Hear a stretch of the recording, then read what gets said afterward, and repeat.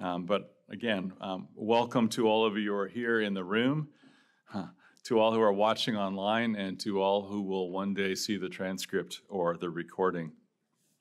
Grace and peace be with you in the name of our risen Lord Jesus Christ. Amen. I'm not sure about you, but for me, the last eight months since we gathered in June for convention have been a bit of a blur. Um, June, we had convention, which was unusual and, and meant different rhythms and patterns of preparation and follow up. July was general convention, and that happened in strange ways, but for a bunch of us, that was still another thing. In late July and August, I went to the Lambeth Conference as Bishop of East Carolina, and that dragged on until nearly December. Um, actually, what dragged on was the COVID and kidney stones I brought back from Lambeth. Um, seriously, and I asked Sandy to verify this with me, by the time I was starting to feel anywhere close to fully recovered after the kidney stones mostly was, was into December. Um, and by then I'd also stepped down as Chancellor of Sewanee two years earlier than expected. And I want to start with a clear thank you to those who have been understanding, patient, and supportive uh, of me and, and of my limitations during much of that time. Uh, you know, we can live with hopes and dreams of what it is that we're going to accomplish, and then life happens. And so I've done the best I can, and I can honestly say that I've learned some new skills.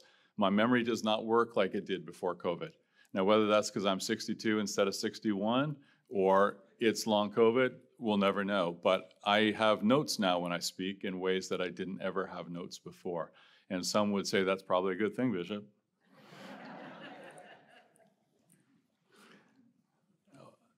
One of the key moments in um, my time in these last eight months was actually um, a moment from General Convention that's now been shared with you. The address, the sermon that was offered by newly elected House of Deputies President Julia Ayala Harris uh, on the closing day of General Convention. Um, I thought her words were powerful anyway, but my first reaction was certainly that I, I, I know this but increasingly, some of us have to acknowledge that we're part of the endangered species if we want to think of ourselves that way. I try to think of it as, you know, some of us need to get out of the way. Some of us need to be active in bringing more people to the table and making sure that more folks are able to be fully a part of the kingdom of God as we're living it. But I heard those words in the first instance as some of you older members of General Convention better get out of the way because us younger ones are ready to take over. Paul, was that the conversation that all you 40 year olds had? I, am just teasing, but I know Paul's worked with a core of younger leaders who've been invited by our previous president of the House of Deputies and will be continued to encourage to provide good leadership at General Convention and across the church. And I'm not so old that I don't remember being one of those younger leaders in my life, and it's critical that we find ways and make ways to invite to the table people who aren't normally there. So at first I had a, a particular reaction to what the House of Deputies president had to say. Not bad, but sharp. And then I realized what happened is it had taken me back to my studies from the 90s when I was doing some extra um, academic work and took me back to a, a paper that I wrote in the 90s that was titled Wanted New Wineskins. It was using the same biblical passage that she'd used in her address as a basis for uh, a study of the congregation I was serving and the reality that some of the old ways weren't working. We had new life bursting at the seams, and we weren't equipped to deal with that new life. And at that time in my life and ministry, those were words. That was a passage of scripture that was very important to me. And since her sermon, I've found myself continuously reframing much of what we face together, much of what I face together, in that reality that life's changes will be continuous. And a part of life is always holding on to those old wineskins that contain the wine that tastes the best, maybe, that's been aged properly, alongside of the new ones that can be flexed and stretched and, and have room for the new wine that we maybe haven't seen fully come to maturity yet. Before we reflect on what might be some new wineskins for us as a diocese, let us take some time to consider the new wine that is showing itself all around us. We see signs of God at work in our midst, always doing a new thing. One of my joys as bishop is to worship with a different congregation every Sunday. Now, a lot of you, when I visited, have also heard me say that being in a different congregation every Sunday is one of the strangest things for someone who used to be in the single community for all of the seasons of the church year with devotional life built in those rhythms and relationships. But honestly, almost every Sunday I visit another congregation, I have a chance to witness the new wine of God's love.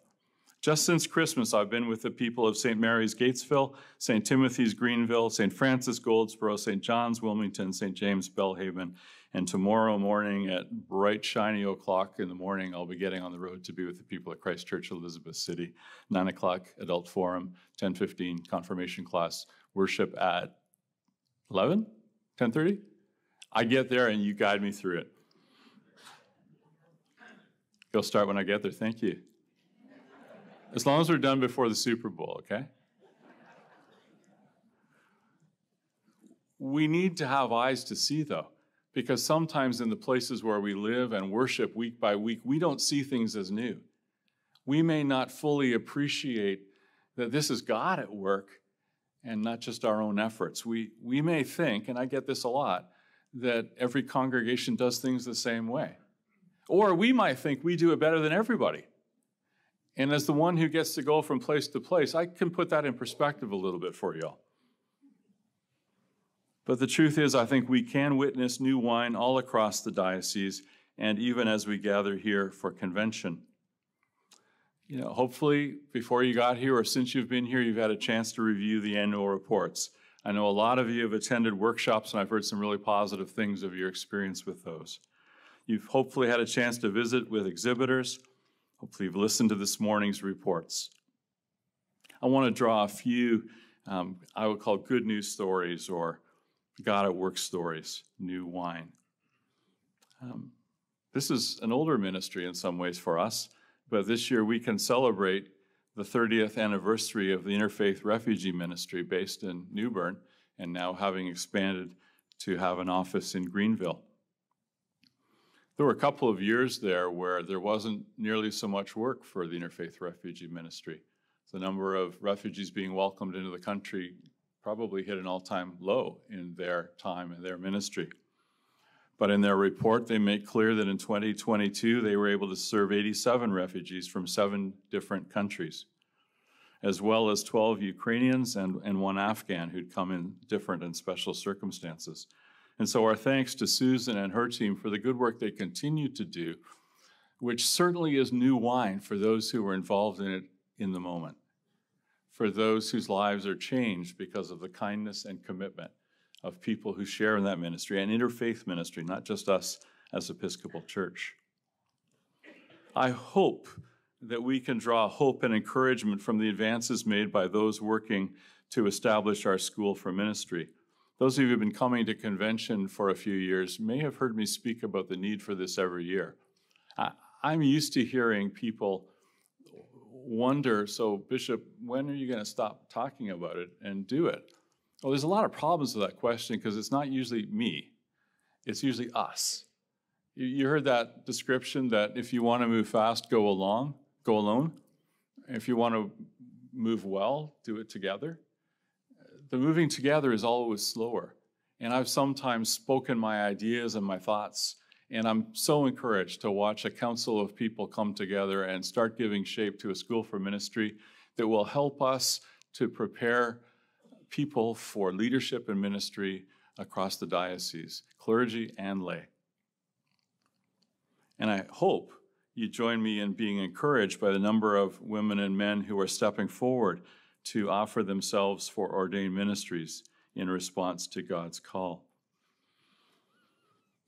I think we ought to be getting excited as we witness the number of people, lay and clergy, who are willing to stand for election and serve important ministries of our diocese.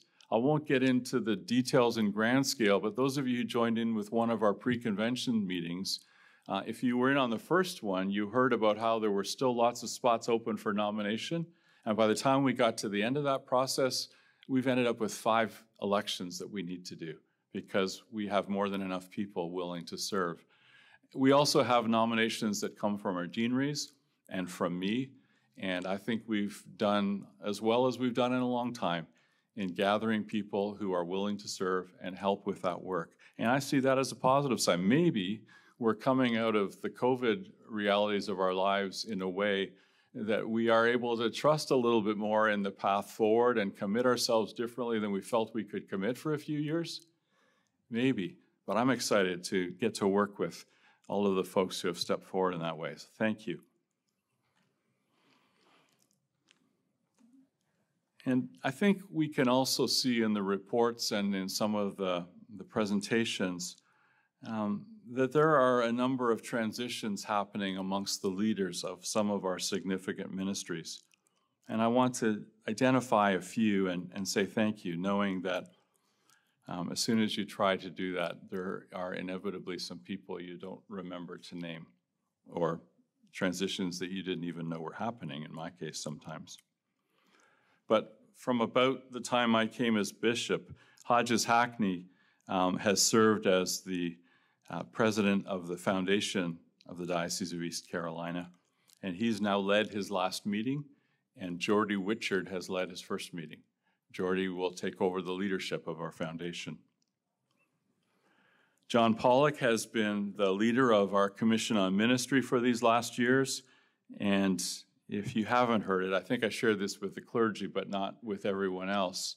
Uh, John had to pick up and leave suddenly for South Carolina, where his mother is approaching death. And I ask that you keep John and his family in your prayers. John's term on the Commission of Ministry has ended, and with his recommendation and support, we've invited Nathan Finnan to be the next chair of the Commission on Ministry. Cursillo is a ministry that depends heavily on lay leadership. Carla Richardson has been the leader of that diocesan ministry. I'll say with words that we all understand and not give you the technical language from Cursillo the leader of our diocesan ministry, and Diane Hatfield, who has been with us. I don't know if Diane's still here, will be taking over that role. Jean Wayman, who somehow, maybe by choice because you've been chairing the convention committee, have ended up in the front row. Uh, was that deliberate, Jean?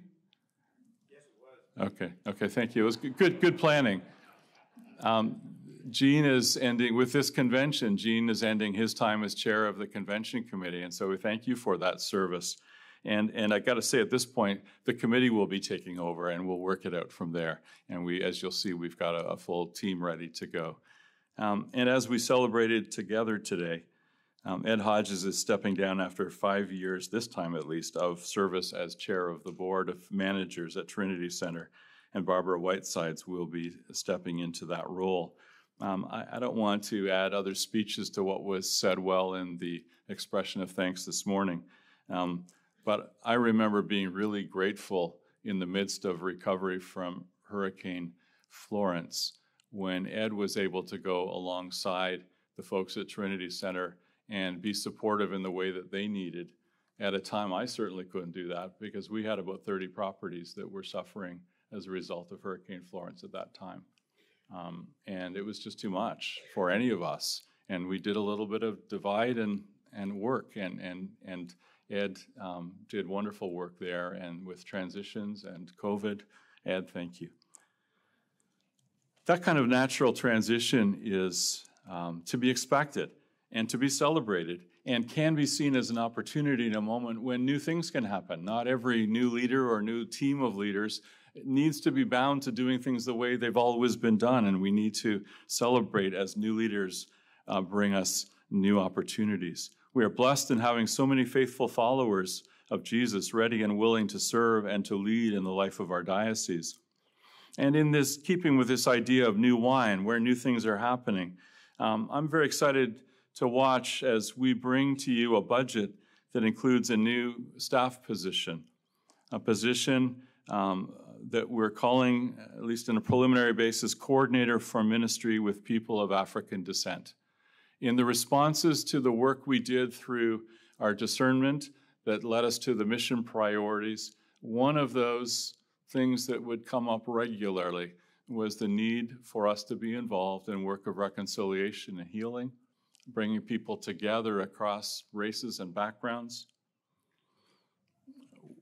We're following a model that's similar to the one that uh, we followed with Fred in his work with people in Spanish language. Uh, we look to hire a priest who will serve as priest in charge of one or more of our historic black churches, while also supporting the ministry of the other of our historic black churches. This will be somebody who will support the work of our Racial Healing Commission, not leading it, supporting it. The lay members, the clergy who are part of that commission will continue to lead, but this person will be a resource and will help with that work. This person that we intend to hire will uh, help to challenge and equip all of us to more fully engage with the communities where we live and serve as we grow into our fourth mission priority, which reads Advocate for justice and peace for all of God's children, working together to remove obstacles that prevent equitable access to resources, while building bridges that work to reconcile and heal the divides between us. With convention's adoption of the budget and with the support and direction of the Executive Council afterwards, we will soon launch a public search to fill this position, a full-time position, but one to be shared between the diocese and congregation. So now let me get to some reflections on new wineskins. As we bear witness to the things that God is doing in our midst, we must also recognize the importance of being willing to shift our patterns, to reallocate our resources, all with the desire to build new wineskins to hold the new wine, new clay jars to hold the treasure of God's great love in Jesus.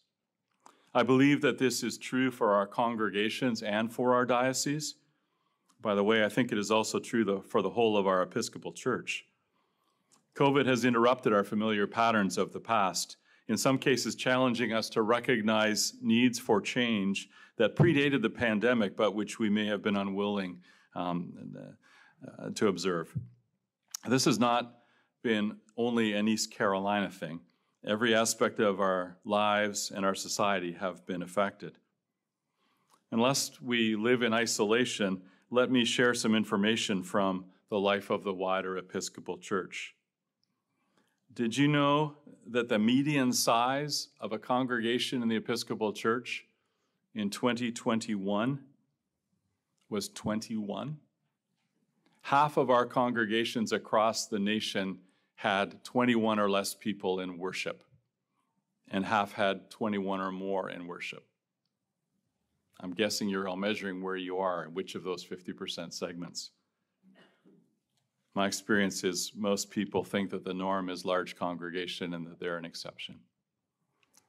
Did you know that 90% of the churches in the Episcopal Church had an average Sunday attendance in 2021 of 100 or less? 90%. 1% only had an average Sunday attendance of 300 or more.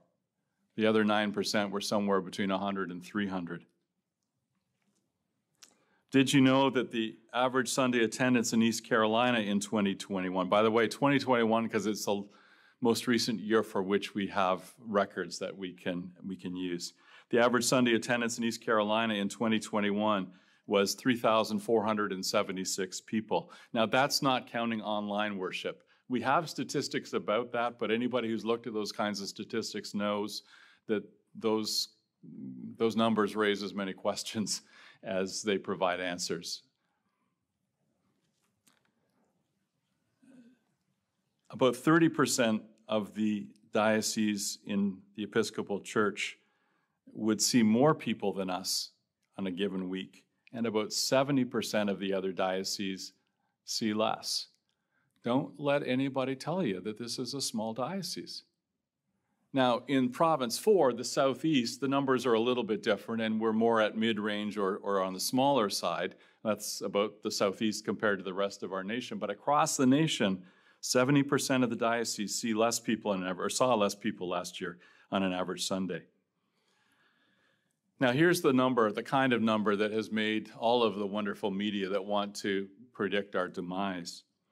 Um, from 2020 to 2021, attendance on an average Sunday in the Diocese of East Carolina dropped by 28.7%. Now, I could be a little bit light with you and say, with COVID out of the way, I expect we're going to see some numbers that go up that we haven't seen in forever. We'll see. About two thirds of the dioceses across our country saw a greater drop than 28.7%. I've seen some at 50% and higher. Did you know that in 2021, our income from plate and pledge was $14,609,735? We are not a diocese without resources. We are not a diocese that should, none of us should preach scarcity. There's an abundance in our midst. It's really more about how we use that, how we make decisions. Only one third of the churches across the Episcopal Church in the United States, at least in this case, saw more income in 2021. Although, again, in our province, our region, 74% of the diocese saw more income. So, again, we can get that idea of ourselves based on our closest neighbors. For us in East Carolina, our 2021 income rose 7.1% from 2020. Did you know our income went up? Our income in the congregations, plate and pledge together. That doesn't mean each was each one of you experienced that. But when I'm in conversation with some of you who talk about the great challenges of a drop, I, I often share, did you know in other parts of our diocese it's not like that? Across the Episcopal Church in the US, in that same one year period, there was a 3.3% increase, so a little bit less than ours. Now, in other presentations, I've tried to point out to you members of committees that you can go to with questions and all. This time, I want to name the Reverend Paul Kennedy of Christ Church New Bern. Um, not because he will answer all of the questions I might have raised with you, but because in his service to our wider church, Paul chairs the task force on the state of membership in the Episcopal Church. And they are deeply challenged now with finding right ways to measure our life and our ministry so as to help us make choices about growing in vitality and developing good strategy. Paul, thank you for your willingness to serve in that way. We actually have a number of people in this room who are leaders at General Convention when we gather. It's always good to go with them. In East Carolina, I would argue, we need some new language and strategy for our congregational life. Our definitions in canon speak of congregations that become missions and parishes. And while at some level we've set that language aside and don't pay so much attention to it as we might once have paid, in reality, we've got an awful lot of congregations that don't reach the standards defined for missions or parishes. They won't have enough members to be able to be a mission by that definition. They don't have a resident priest or a priest in charge in the way that those definitions require. And you know what? If you are feeling less than valued by the language that the church uses, it's not a good thing. I would propose that as we continue to learn from the Small Church Project, the good work that's begun as we bring leaders together to share experiences, as we work to develop strategy, as we develop new wineskins, we're also going to need to change the language that we use when we speak of congregational life. I kind of like the language of 1 Corinthians 12 when we talk about the body of Christ made up of different parts. I think you know that passage.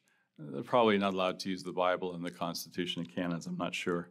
Um, but I think the principles can, we'll leave that to our Chancellor and Constitution and Canons Committee, but I think that some of the principles that are built into our system need attention so that we can recognize the realities we face rather than just measuring ourselves and our life on old principles. During this past year, um, the continuing deans from the year before have worked together to reimagine the purpose of deanery life with the hope of finding ways that we can further support and strengthen networking and growth in ministry. Now, some will happily groan about deaneries because so many things have been tried, so many things have not worked over time. My thanks to the group of deans who have done that work together, and my thanks to the new, full, strong team of deans that are ready in place to begin this, continue this work of developing new wineskins, what it is for us to support one another regionally, How do we strengthen that? How do we do it better? Across the diocese, some of our process is cumbersome and creates extra burdens for congregations. I'm not sure why it took me this long. This is my ninth convention. I've always experienced the frustration of being on diocesan staff as we get ready for convention. And somehow, maybe because of the language that the president of the House of Deputies offered that stuck in my head, somehow this year I heard it different. So I think if you took the time to ponder on this, you could acknowledge that one of the busiest times in the life of a congregation would be somewhere between Thanksgiving and Christmas. Advent's kind of a busy time. Worship at Christmas is important. It's often the time of the year when we see more participants in worship than any other time. Pastoral demands are usually higher because for many people, that's actually a tough season emotionally. So, why is it, do you think, that that's when it is the diocese requires you to elect delegates? When that's the time of the year when we expect your vestry to make a pledge to the budget of the diocese, and you haven't even yet got your year end finances in order or fully formed your next budget. I would argue that the things that we do in our life that we've always done in our life might not make as much sense now as they maybe once did. I'll, I'll give the idea they maybe once worked. You put that together with the fact that when the Finance Committee works hard to make decisions about the money that you've all pledged, just like you might wait for pledges before you set your budget, we wait for pledges. It means we have hours before convention to develop a budget. Hours and we're already into the year for which the budget's being developed. Maybe a group like the Finance Committee will be willing to consider the idea of building a budget on past history, on trends. You know what? No matter how often we ask you for 10% or 11%, we faithfully get from you 9% or a little bit more. There's really good evidence to say we can count on that. And we have really good evidence to say that you are all faithful to your pledges that almost without exception, the pledges of the people of East Carolina rise to the level that you've said that they would be. At our upcoming Executive Council retreat in the early part of March, we're going to begin a process of review of some of that structure, which I think uh, can easily be shifted in some fairly simple ways. I don't want to give those away because I don't want to be the one that presents them by myself. And I hope that if not before, by next convention, we'll be able to come back with some ideas about new wineskins that will better serve our congregations in the ministries you have and our ministry together as diocese. Not everything benefits from new wineskins. Let me be clear before you all want to rush the stage and say, Bishop, what's, what's wrong with the good old stuff? Nothing. You know, some of the good old stuff is how we contain some of the treasures of our faith and tradition, which we carry forward with us. And we need to care for those wineskins and we need to treasure that rich wine. But in our work, we also need to learn how to use both. Not every one of us, not all at the same time, not all in the same place, but together with the resources God has given us. Hold some traditions, add some traditions, offer them in parallel. Don't remember having to use water so much as I do these days. Excuse me. So now I want to come to the last section of this address. Um, there's one word for the title the word revival. All of this conversation about new wine and new wineskins is important and deserves our attention. But I got to say, I'm expecting that the most exciting and important thing that happens in this diocese in the year to come is the revival that is scheduled with our presiding bishop, Michael Curry, and his team for Saturday, October the 21st. Yes, you can put that one on your calendar. Saturday, October the 21st. Now, please do not rush the stage with your argument for why it should happen in your town or village. We'll get there. The real joy is that Michael, presiding Bishop Michael Curry, excuse me for the informality, um, presiding Bishop Michael Curry will be with us all week as I announced last year at convention, he will be with our clergy for their conference, the 17th till 19th. On the 19th and 20th, I imagine we're going to tour him around the diocese and help him to see some things and meet some people that maybe he hasn't seen or met yet. The revival will be centered on October the 21st. And then on the next day, on the Sunday, he will be with the people of St. Joseph's Church in Fayetteville in celebration of their 150th anniversary. Now, you'd think with something this big and important, we would have been working at this for years. Well, I have got the emails from 2019 that demonstrate we were right on track. And then what's the word we always say? COVID. The meeting we would have had, the next meeting that would have brought our folks together, would have been for dates that didn't end up being possible. And so, as the pandemic seemed to clear and the presiding bishop's office was getting back to scheduling things instead of not scheduling things, we got our dates on the calendar. And through a wonderful God story that I won't share now, maybe sometime later, it took us this long to get the leaders from his office together with us. And so this week, a core of leaders from the diocese will be meeting online with Jerusalem Greer and Canon Stephanie Spellers from the presiding bishop's team. We will steadily build the team from there. Uh, we have a set of guidelines that have come from that team, and I want to read a little bit to you about revivals as they understand them, because we all have different language. Some of us will cringe because we associate it with folks we see on TV or that we've encountered at other things. Here's what they intend each revival seeks to revive the hearts of Episcopalians in the host diocese and throughout the wider church, stirring love for Jesus, for each other, and for creation. To proclaim the good news of Jesus Christ in the language of the people to equip and send Episcopalians to share and listen for stories of Jesus' loving presence in daily life through training that may occur before, during, and after the event.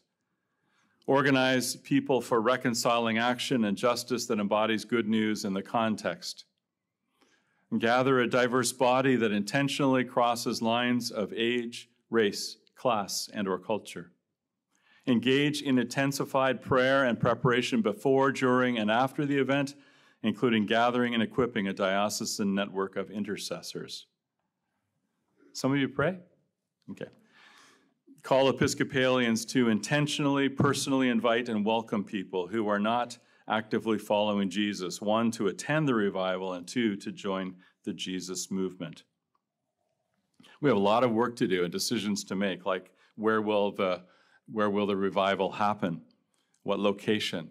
What focus should it have? And normally that conversation happens before location is selected. Those are the conversations, the decisions that our, our organizing team will be led into this week. And we will just keep building from there, bringing others in as we know more clearly where we'll be, what we need to do, what kind of music, who's going to lead the prayers, who can do the prep, et cetera, et cetera. There is prep work, not just for the event, but prep work for our lives as we get ready to host a convention, a, a, a revival. Um, there is the event itself. I have no idea how many people to expect. Last time he preached publicly in this diocese, well, I don't know if we count my ordination. It was in a, an equestrian center not far from here, or if it might have been at the 200th anniversary of the diocese when it happened at Christ Church, and that didn't really feel like it ended up being a really public event. We had to manage things a bit. I, I think there's a reason to expect a lot of people to be with us. My wife um, is part of a Bible study here in town, made up, I think, of everyone but her is a Presbyterian. They're excited about Michael Curry coming to the area. the idea of us inviting is serious, and the idea of us praying is important. So please hold Saturday, October 21st in your calendars. Start to put that on the calendars of your congregations. Get that idea there. We'll be doing lots of communications as we know more details and sharing those as carefully as we can. For now, please pray for God's Holy Spirit to lead us. Please watch for a steady stream of communications and information. Please plan to attend the revival and watch for other ways to participate. And please, count on new wine. In closing, um, last evening I offered words of thanks to all sorts of people, and if you weren't here last night, just watch the video. I'm not going to repeat them all today. Um, but I meant it. There's a lot of people that contribute to our gathering, and everyone's contribution is to be valued. But I want to offer just one more word of thanks that I didn't offer last night, and that is to the current and former members of the Standing Committee of the Diocese who, as part of their responsibility, understand uh, the care of the bishop to be a priority. And so I had a three month sabbatical plan for 2020, and then COVID. Um, so that really functionally ended up being two weeks. Um, and they've affirmed that I should be finishing my interrupted sabbatical from 2020. And so, my thanks to them. I, I still have some significant doubt about how that can happen in the same year as we have a revival. I guess if it becomes clear that it can't, then Rob Richardson, President of the Standing Committee, will renegotiate. But I'm grateful for their support and for their care of me on your behalf. And so now, glory to God, whose power working in us can do infinitely more than we can ask or imagine.